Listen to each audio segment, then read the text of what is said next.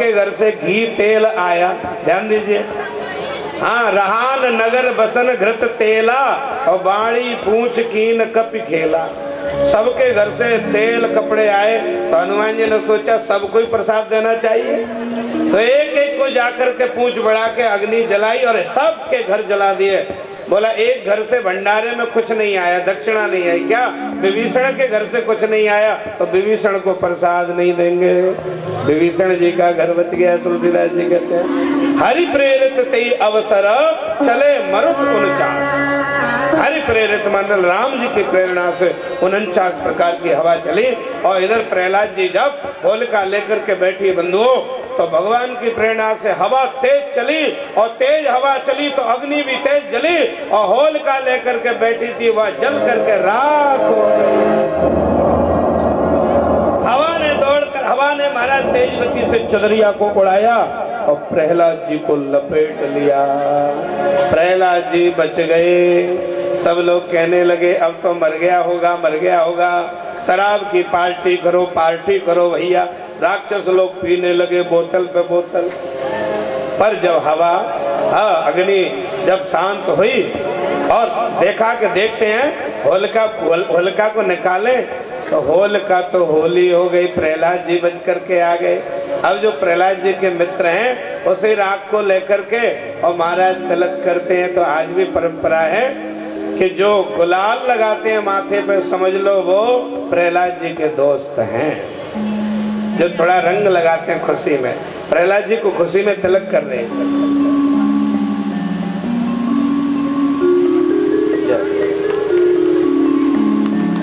एक माला दीजिए, बुआ जी को पहना देते हैं। बुलाइए से राधे राधे।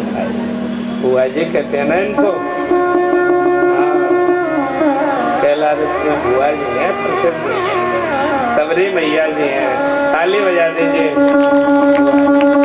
बड़ी भावुक हैं, बड़ी प्रेम में है, भगवान के भजन में सबको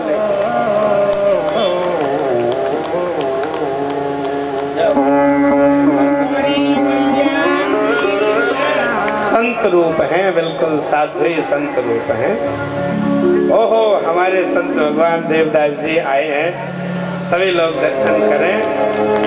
देवदास बाबा महाराज पधारे हैं। नागा जी महाराज हैं। आप विरक्त संत परिषद, विरक्त वैष्णव परिषद नागा जी महाराज की जो परंपरा है, वहाँ से आप जो है साधु वेश लिए हमारे श्री देवदास जी महाराज जी। सबलगढ़ में विराजते हैं। जिनका द्वारिका धाम बड़ा ही सुंदर आश्रम है।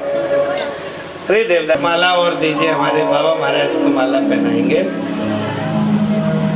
संत श्री देवदास जी महाराज जी पधारे, एक बार जोरदार ताली बजा दीजिए अच्छे से। बाबा महाराज के सम्मान। में संत आते हैं तो बड़ा सम्मान।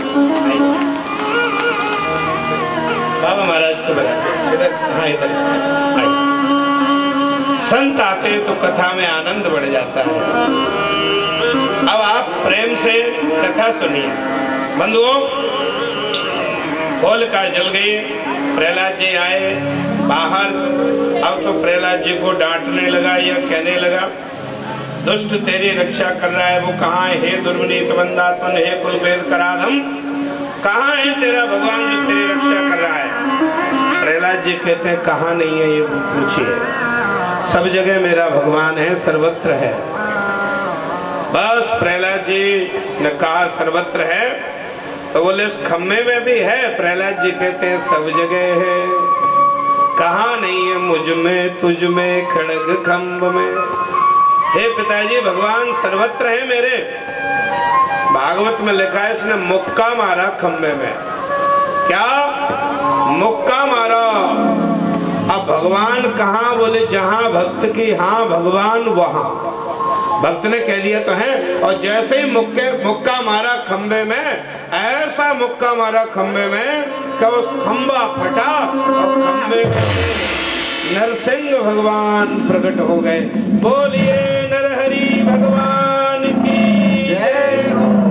सीन सिंह भगवान की सीन सिंह भगवान की इसके इसके हाथ से तलवार छूटी। ढाल गिरी। और गदा लेकर के दौड़ा। भगवान ने गदा का जवाब गदा से दिया और ठाकुर जी पकड़ करके और बैठ गए महाराज। बीच दहली पर बैठ गए और इसको अपनी गोदी में बैठा लिया। और भगवान कहने लगे, अरे दुष्ट हिरण्य कश्यपो आज तुझे मारूँगा मैं। प्रभु का रूप बड़ा विचित्र है, बंधुओं। हाँ जो जैसा वरदान मांगा, वैसा ही रूप है। ब्रह्मा जी ने कहा, इसको वरदान उन सब वरदानों की रक्षा करने के लिए, गर्दन से नीचे तो मनुष्य का रूप, और गर्दन से ऊपर शेर का रूप है। नरसिंह कहते हैं, नरसिंह। और वहाँ भागवत में लिखा है नरसिंह क्री है कृष्ण वाला, जो कृष्ण में रिकार है नरसिंह नरसिंह नर भी है, सिंह भी है। या नरों में जो सिंह के समान है, वह नरसिंह है। ऐसे भगवान हमारे श्री हरि। आज बंधुओं, बड़ा सुंदर रूप लेकर के नरहरी रूप लेकर के, और अपनी गोद में लिटा लिया, इस हिरण्य कश्यप को बीच दहली पर बैठ गए, और कहने लगे, मैं तुझे मारूँगा, छोड़ूँगा नहीं। ये कहता है, प्रभु, मुझे आप नहीं मार सकते, क्योंकि मैंने वरदान मांगा है विदाता ब्रह्मा जी से। आप मुझे नहीं मार सकते। भगवान बोले, तूने क्या वरदान मांगा है? बोले, मैंने वरदान मांगा कि ऊपर या नीचे नहीं मरूँगा। भगवान बोले देख ले तू ना ऊपर है ना नीचे है मेरी गोद में है। ना ऊपर नहीं नीचे। इसके जैसा बुद्धिमान कोई बात कोई नहीं। तो भगवान भी इससे बड़े बुद्धिमान है सारे वरदानों को काटते हुए। इसलिए ये, ये प्रसंग हमको शिक्षा देता है कि भगवान में बुद्धि मत लगाओ मन लगाओ। मन लगना चाहिए भगवान में बुद्धि संसार में लगाओ। हमने हमको कैसे जीना है, कैसे संसार में मन मत लगाओ, मन परमात्मा में लगाओ। हिरण्य कश्यपु ने बुद्धि लगाई, सुशिकार हो गया, भगवान ने कहा, देख, ऊपर नीचे ही तो नहीं मरेगा, पर तू बीच में मेरी गोदी में है, बता। प्रभु, मैं बाहर भीतर नहीं मरूँगा। ब्रह्मा जी से मांगा वरदान, भगवान बोले, ना बाहर, न भीतर है। देख ले तू, न बाहर है, न भीतर है। बीच दिल्ली में है। ये बीच दिल्ली पर हम लोग, हिंदू लोग दीपक जलाते हैं सायंकाल को, क्योंकि दिल्ली नरसिंह भगवान का आसन है। दिल्ली पर छोटे बच्चों को नहीं बिठाना चाहिए। गंदगी कर दे तो गैया के गोबर से लीपना चाहिए। और नरसिंह जयंती के दिन प्रत्येक हिंदू को अपने घर की दिल्ली पर नरसिंह भगवान का पूजन करना चाहिए।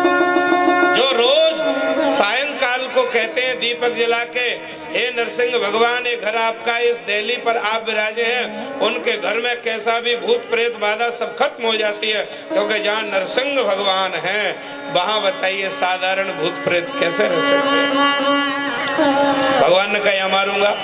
प्रभु, मैंने वरदान मांगा। आदमी या जानवर किसी से नहीं मरूं।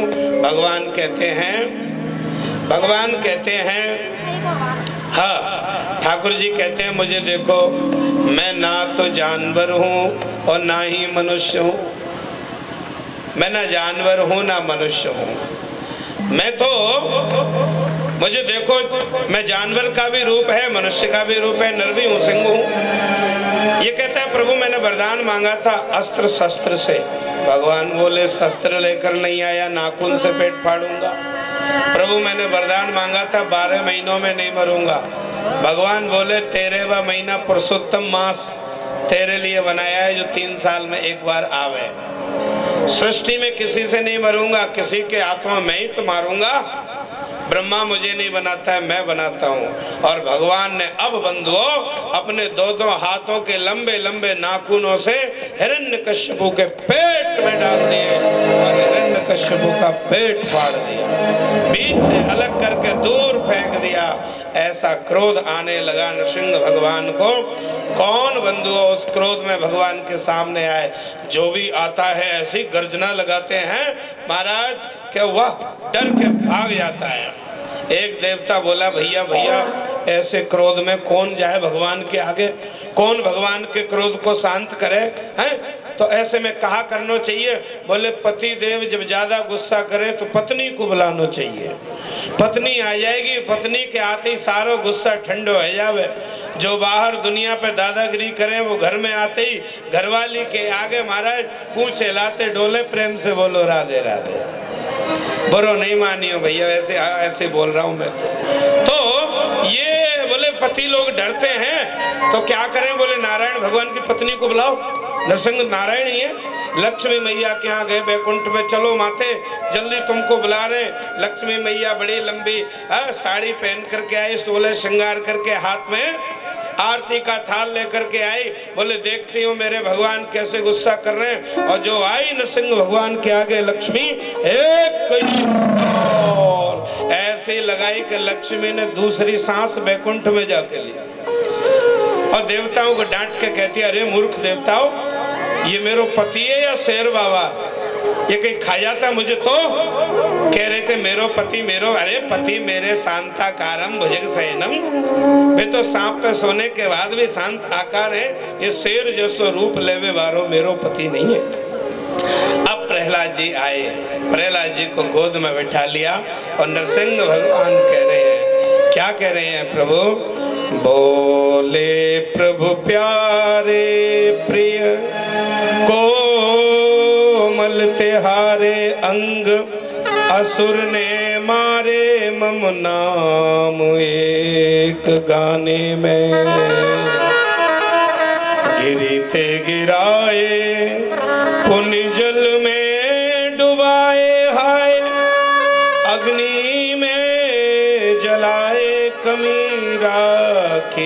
सताने में और से लगाए लपटा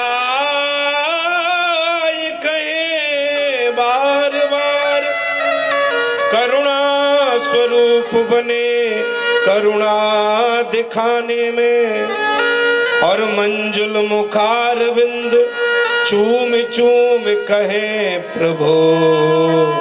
क्षमा करो पुत्र मोहे देर भई आने में। हे बेटा, हे प्रहलाद, तुमने हर क्षण मेरा नाम गाया, पर फिर भी मैंने आने में देरी कर दी। मेरे पुत्र मुझे क्षमा करना। प्रहलाद जी कहते हैं, प्रभु, आपने सब जगह मेरी रक्षा की।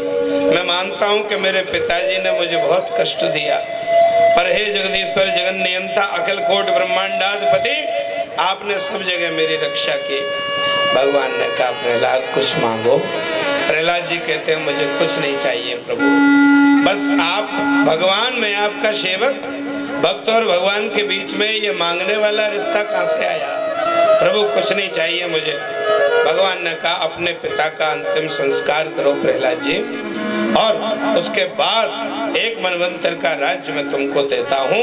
ऐसा अनंत आशीर्वाद दे करके नरसिंह भगवान बार बार कृपा वर्षा करके और अंतर ध्यान हो जाते हैं। बोलिए नरहरि भगवान की जय। श्री प्रहलाद जी महाराज की जय। और बंधुओं घड़ी आज भागती जा रही है, भगवान का जन्मोत्सव भी करना है।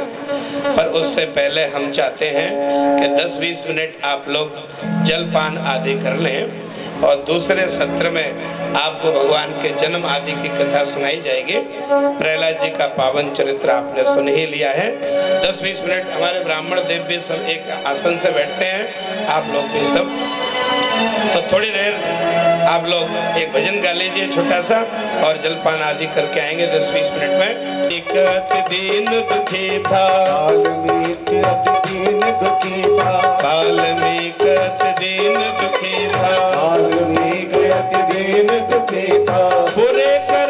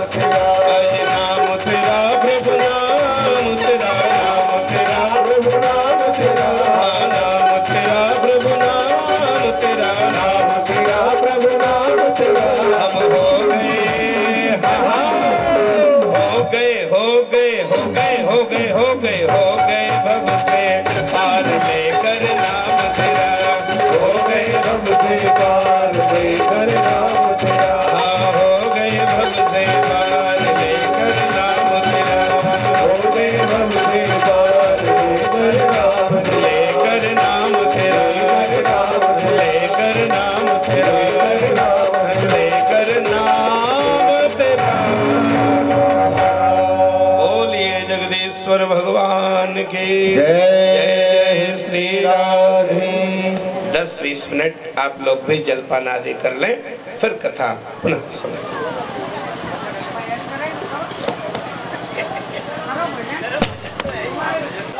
जाओ भैया आप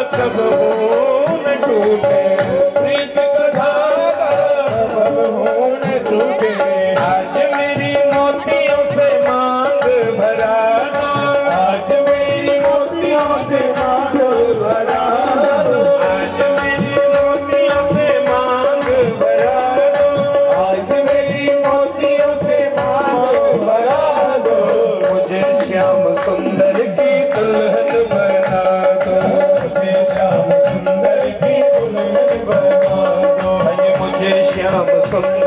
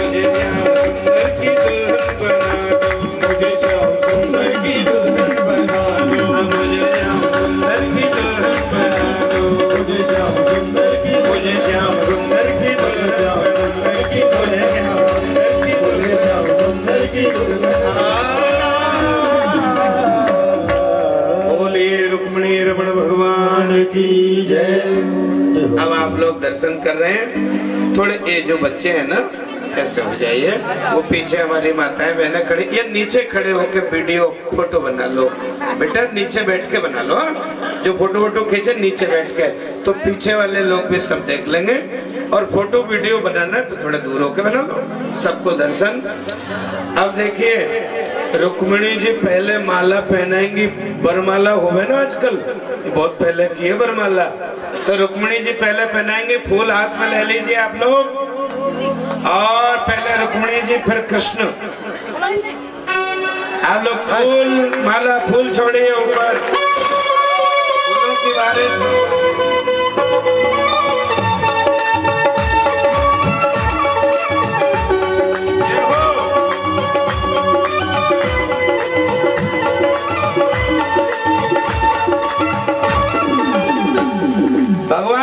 पहला दी ताली बजाइए, बढ़िया वाली। अरे ताली की गड़गड़ाहट होनी चाहिए, अभी सही नहीं बजे। और बढ़िया। बोलिए, द्वारकाधीश भगवान की। श्री रुक्मिणी रमण भगवान की। आज के आनंद की। और भैया, रुक्मिणी वाले कौन है ये महंत जी महाराज? और हमारे यजमान जी और दोनों जो हैं बढ़िया बढ़िया नोट निकाल के वो कर रहे हैं। का कहें नौछावर हमारे संगीत वाले कलाकार लोग बैठे हैं। ब्राह्मण देवता खड़े इनको देव कर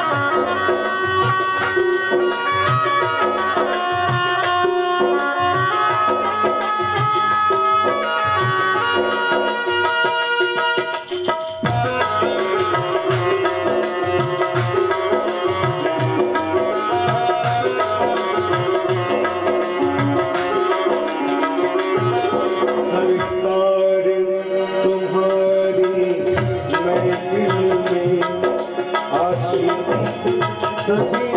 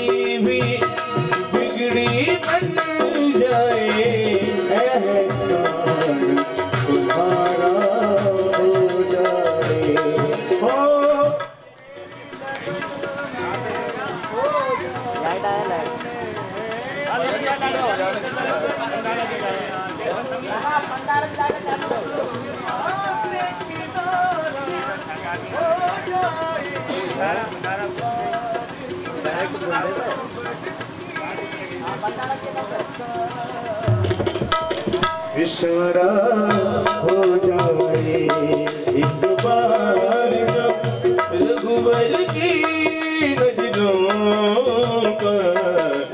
Sara.